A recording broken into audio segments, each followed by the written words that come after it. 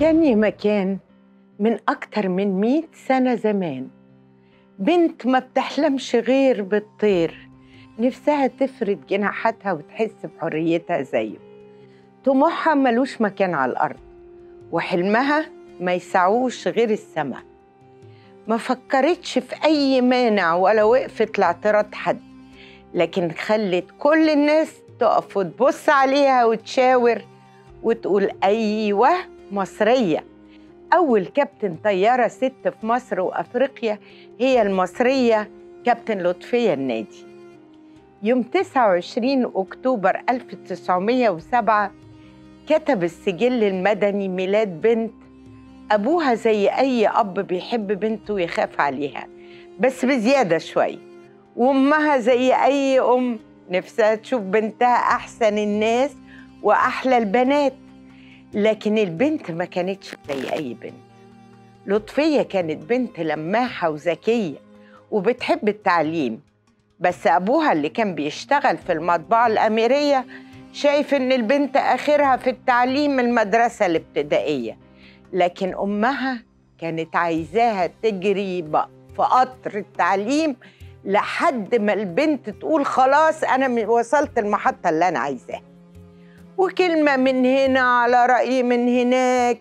دخلت لطفية الأمريكان كوليدج وفي يوم من الأيام قرت لطفية في الجورنال عن مدرسة تعليم الطيران اللي كانت لسه بتبتدي. وإحنا هنا بنتكلم عن سنة 1932 يعني طبعا كان كل اللي فيها رجالة بس ده ولا يفرق مع لطفية. كل اللي شغلها إن جه الوقت اللي حقق فيه حلمي.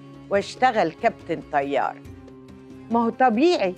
دي بتفكر إنها تطير وتسوق طيارة من سنين طويلة من قبل حتى ما يتبني مطار ألماظة اللي اتبنى برضه سنة 1932 واللي هو دلوقتي جنب مطار القاهرة الدولي.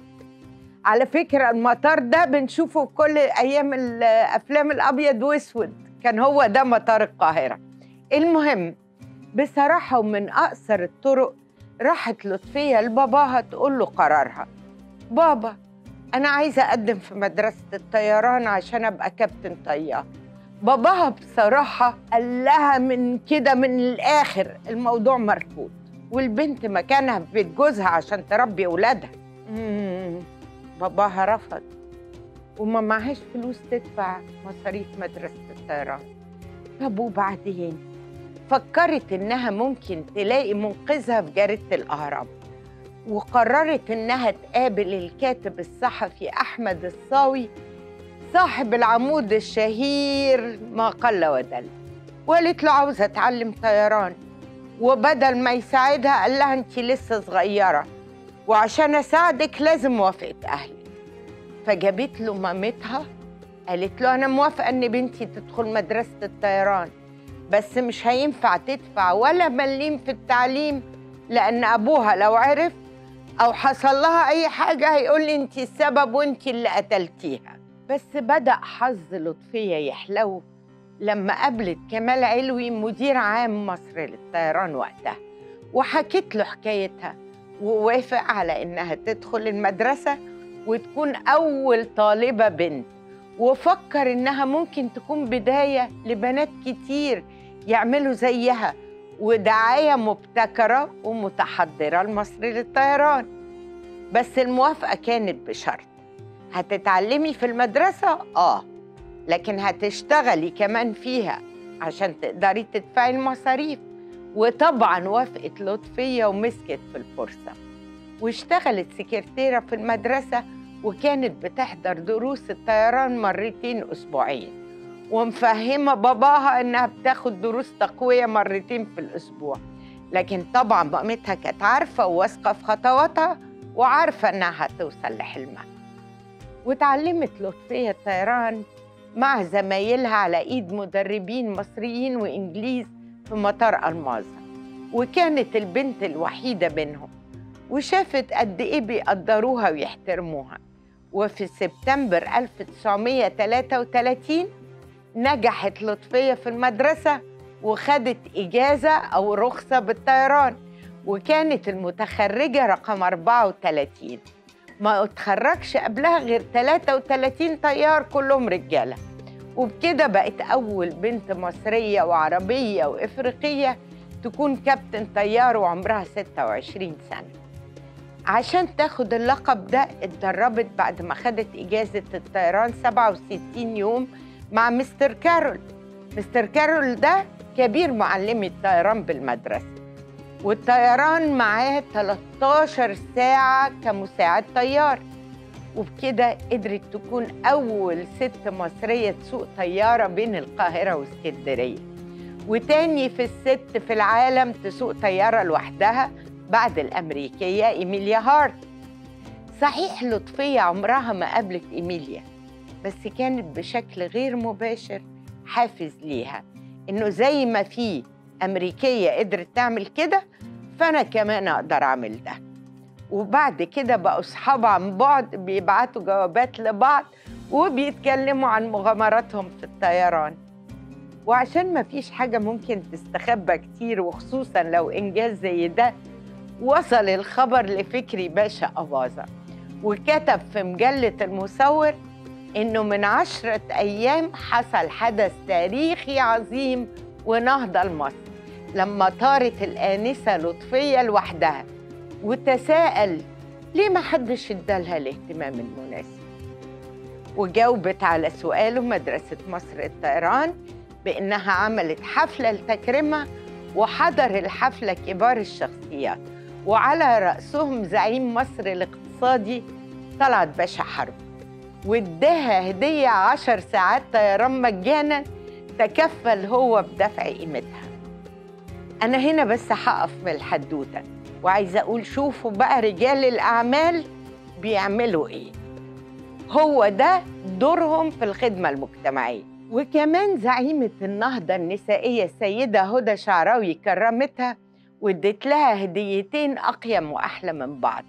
الأولى عبارة عن قلادة من الذهب المرصع بالماس اتعملت مخصوص عشانها. والهدية التانية من جمعية الاتحاد النسائي عبارة عن حجر من العقيق الأحمر منقوش عليه آية الكرسي. كمان مصر الطيران دعت للصحافة عشان يحضروا الاختبار العملي لأول طيارة كابتن مصرية في أكتوبر 1933 وصورت الكاميرات واتكتبت المانشيتات وجالك الموت. يا تارك الصلاة. أبو لطفية اتفاجئ بصورتها وأخبارها في الجرايد فغضب جدا جدا. إزاي بنتي تعمل كل ده من ورايا؟ وإزاي ما تت... ما تقدرش قراري وخوفي عليها؟ بس عشان البنت مهما عملت هتفضل حبيبة أبوها استغلت حبه ليها وحطت خطة عشان ترضيه وتقنعه في نفس الوقت بطريقة عملية. خليته يطلع معاها في جولات كتير بالطيارة فوق القاهرة والجيزة عشان تثبت له إنها تقدر تبقى زي الرجالة وأحسن كمان. وهو طبعا اتفاجئ بشجاعتها وجرأتها وثقتها في نفسها وتحول أكبر المعارضين ليها لأول مشجعينها كان أول سباق طيران دولي تشارك فيه لطفية في آخر نفس السنة مع 61 طيار من جنسيات مختلفة وما كانش فيه مصريين غير لطفية وأحمد سالم ومحمد صادق. شاركت لطفية في الجزء الثاني من سباق الطيران الدولي وكان عبارة عن سباق سرعة بين القاهرة واسكندرية وكانت سايقة طيارة جت موت الخفيفة بمحرك واحد وسرعته متوسطة حوالي 100 ميل في الساعة. ومع إن طيارتها ما كانتش أسرع واحدة بس لطفية كانت أول واحدة توصل لنقطة النهاية وتكسب المركز الأول. بس إزاي تفوز ست ومصرية بالمركز الأول في مسابقة طيران دولي وفي لجنة تحكيم معظمها إنجليزي وتعدي عادي؟ اللجنة سحبت منها المركز الأول وعدلت النتيجة بحجة إن الطيارة ما عدتش إلا على خيمة واحدة في المكان المحدد للرجوع من اسكندرية والمفروض إنها تعدي على خيمتين. وطبعا زعل جدا الملك فؤاد على اللي حصل لأنه كان بيتابعها ومستني النتيجة وقال لها دي أول مرة تحصل وإن اللي عملته فخر لمصر واداها جايزة شرفية بقيمة 200 جنيه مصري. وطبعا المبلغ ده مش هقول لكم يساوي قد إيه دلوقتي. ومش بس كده هدى شعراوي بعتت لها برقية تهنئة تقول لها فيها شرفتي وطنك ورفعتي راسنا وتوجتي نهضتنا بتاج الفخر. بارك الله فيك. وصلت لطفية شغلها اللي هو أصلا حلمها في قيادة الطيارات وفضلت تشترك في مسابقات طيران عشان توصل رسالتها لكل العالم. إن زي ما الستات في الغرب بينجحوا فإحنا مش أقل منهم ونقدر نكون أحسن كمان. وكان من ضمن السباقات سباق دولي أقيم في مصر سنة 1937 من القاهرة إلى الواحات. اشترك في المسابقة دي 14 طيار وطيارة من مختلف جنسيات العالم. وكسبت لطفية المركز الثالث بين الكباتن الستات.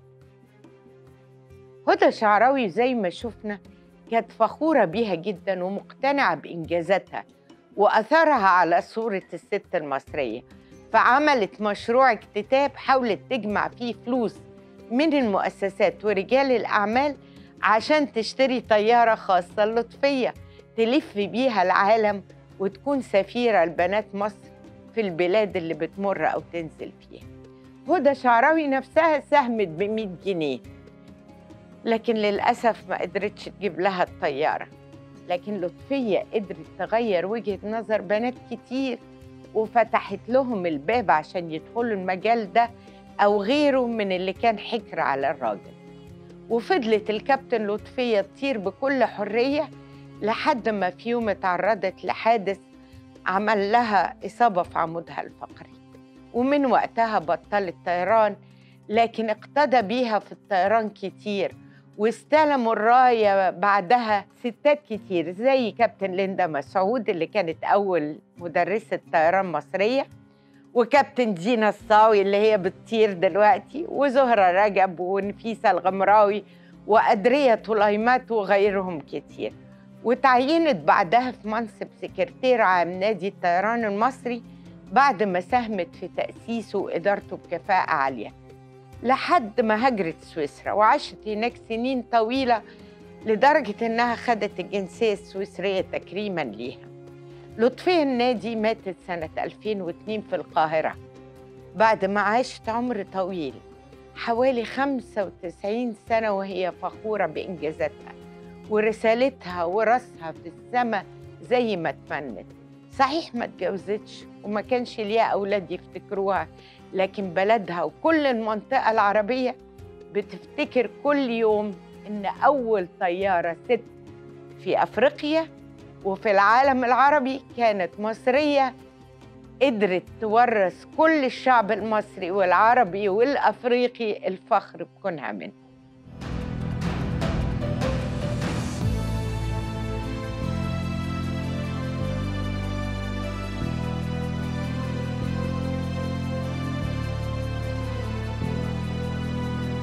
بيختلف المكان والاسم والزمان لكن النجاح هو العنوان.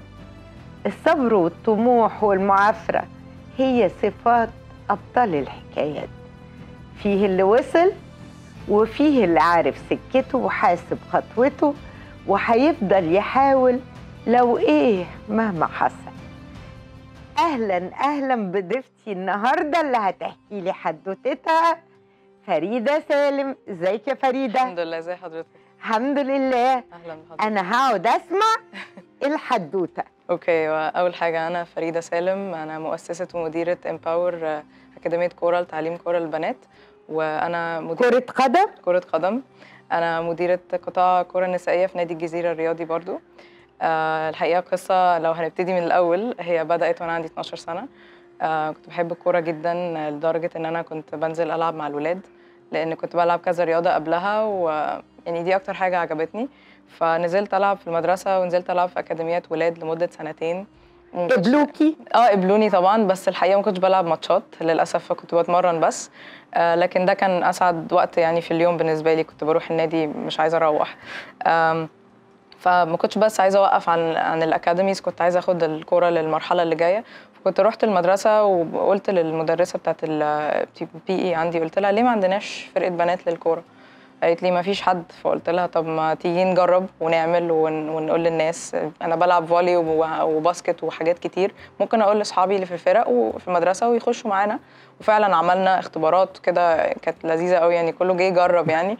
ولأن كانت جديدة الكوره كان كله مستغرب. الولاد حتى بيبصوا اللي هو إيه ده البنات هتلعب كورة؟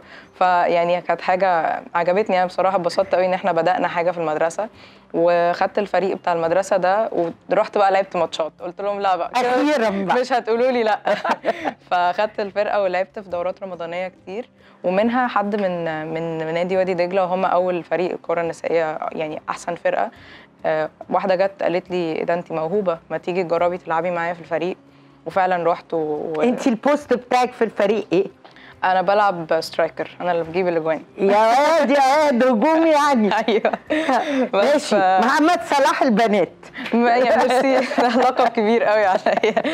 آه، بس فروحت بقى ولعبت وخدت الموضوع more professionally بقى. قلت لا أنا هحترف أنا عاجبني الموضوع ده. بس طبعا كان فرق مخت... كان فرق كبير ما بين لعب الولاد مع لعب البنات. فقلت آه، طيب أنا كده كده يعني أنا هاخد الموضوع ده من أوله لآخره بقى. هنام صح هاكل صح هلتزم بالتمرين. ومع الدراسة طبعا الموضوع كان يخضني شوية لأن كان عندي لسه 14 سنة فكان يعني كان شيفت كبير. آه بعدين جالي إصابة فللأسف موضوع الكورة كان ابتدى يقل شوية فدخلت في مجال التدريب. يعني أنا المدرسة بتاعتي اللي أنا عملت معاها الفريق ده قالت لي يعني انت عملتي الفريق وسبتينا قاعدة في البيت بالإصابة بتعملي إيه. قلت لها طب أعمل إيه؟ قالت لي طب تعالي دربي معايا. كانت فكرة جديدة طبعا بالنسبة لي. كنت خلاص دخلت في إصابة ورا الثانية كان عندي ست- 16 17 سنة بتخرج. فقالت لي خلاص انت السن ده ممكن تعالي دربي معايا be my assistant coach. قلت طيب. وعجبني جدا الموضوع جدا. حسيت إن أنا أقدر أعمل فرق من بره الملعب حتى لو أنا مصابة أو مش قادرة ألعب مش مشكلة. وحبيت الموضوع حتى بعد ما دخلت الجامعة كملت دربت مسكت فرقة بنات لوحدي في أكاديمية كانت لسه فاتحة جديدة وقتها أكاديمية إي سي ميلان جاية من إيطاليا. وحتى المدير الفني الإيطالي كان معجب جدا بالتدريب بتاعي يعني. فحسيت إن أنا في مجال جديد اتفتح لي. وكملت بقى لما دخلت الجامعة ولعبت شوية في في الجامعة فريق الجامعة. للأسف جامعه امريكيه ما كانش فيها الم- المجال الرياضة إن أنا أدرسه مع إن كان حلم حياتي بقى إن أنا أعمل المشروع بتاعي إن أنا أرجع مثلا بعد whatever اللي أنا هذاكره عايزه أعمل academy للبنات. لأن أنا كان قلت طب ليه أنا عندي 12 سنة ومش عارفة ألعب في اكاديميه بنات؟ فأنا قلت لا لا خلاص أنا كل حاجة دراستي بقى خبرتي أي حاجة أنا هعملها في الرياضة عشان أعمل الاكاديمي دي للبنات أقدر أوفر الفرصة دي للبنات الصغيرين. وبس وحصل إن أنا بعد ما لعبت في الجامعة هنا آه، جامعة أمريكية لمدة سنتين نقلت وسافرت كندا وغيرت ال major بتاعي خليت مشروع التخرج how to build a girls football academy هي أصلا إزاي أبني أكاديمية كره للبنات. في مصر. يعني أنا عاملاه في كندا. حتى ال professors بتوعي بيقولوا لي لا برافو اعمليها بالطريقة اللي انت عايزة تعمليها بالظبط. حلمك هتحققيه. فعملتها و I interviewed ناس في أمريكا وفي كندا وسافرت لهم ورحت اتفرجت على ال academies بتاعتهم وفهمت ال operations كلها وفهمت هم إزاي وصلوا للي هم وصلوا له. وقلت إن أنا في يوم من الأيام أنا وعدت نفسي كده إن أنا هرجع مصر وأعمل الاكاديمي دي بس ما كنتش لسه عارفة إمتى. فال professors بتوعي وأنا بتخرج جم كده وقالوا لي بصي فريدة إحنا من خبرتنا في الحياة لو انت ما نزلتيش عملتي المشروع بتاعك ده دلوقتي انت ممكن ما تعمليهوش عمرك. فقلت لهم طب أنا لسه نفسي ألعب كورة أكتر نفسي أكمل دراسة عايزة آخد خبرة أكتر من كندا وعايزة أسافر وأعمل وأعمل. قالوا لي please trust me جربي مش تخسري حاجة ارجعي مصر. اعملي survey شوفي كده الناس حابة الموضوع ولا لأ. ولو انت حاسة إن ده حاجة عايزة تعمليها دلوقتي okay مش عايزة okay خلاص no no problem أنا قلت لهم okay وسمعت من هنا وطلعت من هنا وقعدت في كندا تسع شهور اشتغلت. ما اتبسطتش خالص. وقعدت كل شوية عمالة أفكر في المشروع بتاعي قلت طب what if ليه؟ ممكن أنجح ممكن أنجح فيه وأقدر أقدم الفرصة دي وأحلام البنات اللي في مصر اللي ممكن بتتدمر ويبعتوا لي مسجات فريدة انت role model فريدة إحنا نفسنا نعمل زيك فريدة إحنا نفسنا نسافر. قلت طب ليه سافروا؟ ليه سافروا ويتبهدلوا اللي أنا البهدلة أنا اتبهدلتها؟ طب ما أرجع وأقدم لهم حاجة محترمة حاجة professional حاجة يحسوا إنهم فعلا بيحققوا حلمهم بطريقة كويسة ويحبوا يقعدوا في بلدهم ويقعدوا مع أهلهم. ولما يوصلوا للسن اللي هم يقدروا يسافروا فيه وعايزين يحترفوا أبقى أنا at least ساعدتهم يوصلوا للمرحلة دي. يعني هم بيفكروا إنهم ال football يبقى career career. بالنسبة لهم. بالظبط. يبقوا لاعبات football محترفات. بالظبط. وأنا خبرتي تقدر تساعدني إن أنا أقول لهم يعملوا إيه عشان يوصلوا للهدف ده. أنا لعبت في كندا درجة ثالثه وكسبت وصعدنا ولعبنا دوري درجة تانية. ولعبت briefly وأنا عندي 19 سنة في منتخب مصر فأنا عارفة ال level اللي هم المفروض يبقوا وصلوا له علشان يلعبوا ال next level ده. مم. هم مش مش متخيلين. عندهم أحلام بس ما عندهمش أهداف.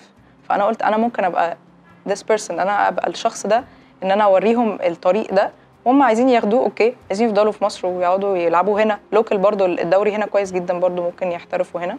وهم يبقى عندهم الاختيار على الأقل يبقى عندهم الفرصة. أنا كان نفسي أقدم لهم الفرصة دي اللي أنا ما حدش قدمها لي وأنا صغيرة. قولي لي يا فريدة ما بيضايقكيش الاهتمام الفظيع بدوري الأندية للرجالة وإن كرة القدم النسائية مش واخدة حقها؟ طبعا دي حاجة بتضايقني جدا لكن أنا أقدر أقول إن دي مشكلة عالمية مش مشكلة بس في مصر. وإحنا أهم حاجة هي الصبر. دلوقتي آه، آه، كذا اتحاد في العالم ابتدوا يهتموا بالكرة النسائية زي بالظبط الولاد ولو آه، دخلنا بصينا. دلوقتي في بجد بتاع مثلا خمسة أو ستة لسه أع- أعلنوا السنة دي إنهم هيدفعوا مكافآت والسالاريز للبنات قد الولاد. مم. منهم برازيل منهم إنجلترا منهم نرويج أعتقد. ممكن أكون غلطانة في نرويج بس المهم يعني هم خمسة كبار أو ستة ابتدوا يرسموا بقى الطريق ده. والكاف هنا برضو والاتحاد الكورة ابتدوا يهتموا جدا جدا بموضوع الكره النسائية. آه، بس ففي لسه حالا السنة دي اعلنوا إن الفيفا هتنزل 500 ألف دولار budget مخصص لكل اتحاد في كره نسائية. آه، علشان يبتدوا يطوروا يعملوا development projects يعملوا مشاريع جديدة يعملوا آه، دوري يعملوا اكتشاف بقى المواهب من سن صغير لأن دي حاجة كانت مشكلة برضو في الكورة. آه، من البنات بيبدأوا فعلا زي ما بدأت 12 سنة 14 سنة. اليكس مورجان اللي هي أصلا من أبطال العالم دلوقتي بتلعب في أمريكا ابتدت كورة بتقول وأنا عندي 14 سنة. ليه مم. الناس ما يبدأوش من أقل سن؟ من أقل عشان طبعاً. يقدروا يوصلوا لمستويات أحسن. بالظبط. طيب أعتقد إن ضروري بطريقة تفكيرك دي وباللي انت عملتيه ليكي طموحات. إيه هي؟ آه، أنا عندي طموحات كتير لسه.